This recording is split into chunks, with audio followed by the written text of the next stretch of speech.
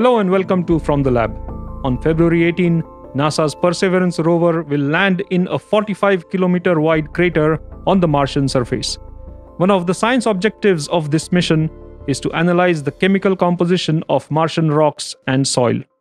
This will be carried out by the SuperCam instrument on board the rover.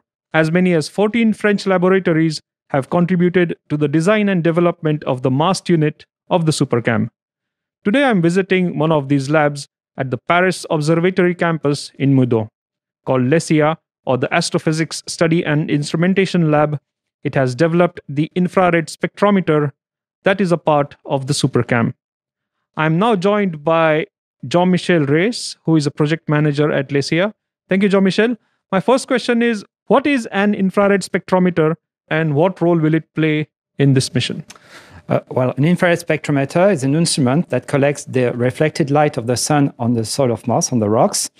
And uh, doing that, it uh, analyzes by separating the different composi- uh, wavelengths, which are, are the colors, and analyze it. Doing that, you know exactly what, you, what are the rocks you are looking at, and you make the identification of the rocks.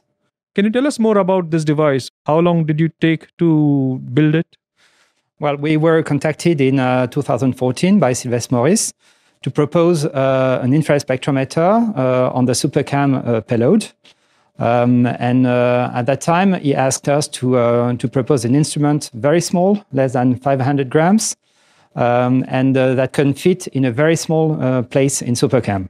So we worked on that with another lab here near Paris, LATMOS and we uh, we proposed an instrument that were uh, 400 grams uh, and fit the volumes. Now, can you tell me about LESIA? What are its other research activities? So LESIA is a is a big uh, astrophysics uh, laboratory, uh, and it works in all the fields of astrophysics, either for space science and also on ground science. So, for example, we we had an instrument on the Rosetta mission that was launched 10 years ago now, uh, well, that's uh, that's the kind of things we do. Earlier, I spoke to Sylvestre Maurice of the Astrophysics and Planetology Research Institute on their contribution to the SuperCam instrument. SuperCam is an instrument for the Perseverance rover. It is made of three parts. One part, the MAST unit, built in France. Second part, the body unit with our partners in Los Alamos National Lab and the PI, Roger Wiens. The last one is from Spain, calibration targets.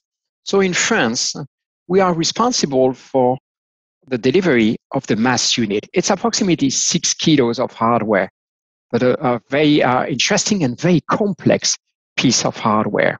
The SuperCam has five different techniques.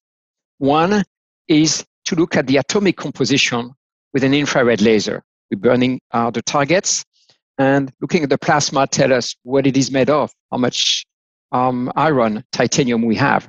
The second technique is a Raman spectrometer. We are shooting with a green laser this time, and we're looking at the bondings between the different atoms, molecules. And we can even find organic molecules if they exist.